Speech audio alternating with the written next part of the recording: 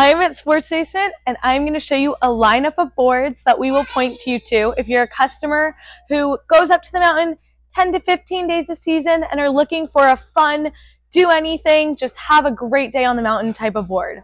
Let me show you them.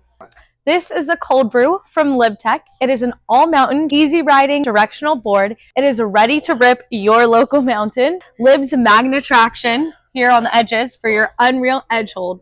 They say it turns ice into powder. Straight from Capita's mothership factory is the DOA. This board is one of the most famous of all time, and for good reason. It takes advantage of traditional camber by giving it pop and response, and it uses reverse camber for easy turn initiation. This board is literally fire. This is the Frontier from Jones. After talking to Jeremy Jones himself, he said that he has put more time on the prototype of this board than any other board in the lineup. He wants to make sure that you all are having a guaranteed great time on the mountain every day. This is an all-terrain, shred everything board, and you will have a great time on it. This is the Assassin from Salomon. It is actually an employee favorite board. Salomon fused their best freestyle and powder board shapes to create the ultimate one board quiver.